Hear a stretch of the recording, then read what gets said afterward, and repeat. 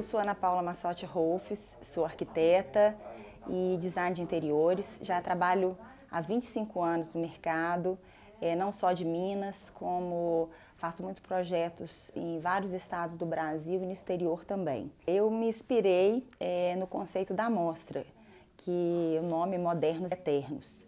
Então eu busquei no movimento pop art que surgiu nos anos 50 e 60 na Inglaterra, onde era uma quebra de paradigmas e então eu me baseei nisso com muitas obras de arte nessa linha do pop e depois eu venho com outros elementos que na mesma época na, na Europa, nos Estados Unidos, a utilização de móveis italianos, é, que tem peças maravilhosas que vale a pena vir conferir. Um mocho lindíssimo. E como a, a mostra a gente tem que fazer uma obra autoral, a minha obra autoral foi uma instalação de movelaria, onde eu me inspirei em esculturas de madeira, outros elementos também.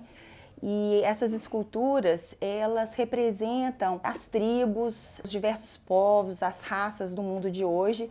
E aí eu faço um paralelo com o meu trabalho, que é justamente isso, né? São muitas famílias, como o meu trabalho é muito residencial, é, são famílias, são tribos diferentes, onde eu acho que cada projeto tem que ter a personalidade do cliente. E aí eu finalizo na arte contemporânea, onde eu coloquei cadeira, uma cadeira lindíssima que é a estrela dos irmãos Campana e outros né, elementos que estão dentro do ambiente, como um pendente também lindíssimo. E é o que eu faço um, um outro paralelo que hoje a arte contemporânea ela é questionada, assim como a pop art naquela época também era questionada. E esse tempo agora que nós estamos vivendo vai ser os modernos do futuro, onde seremos o contemporâneo com mais facilidade.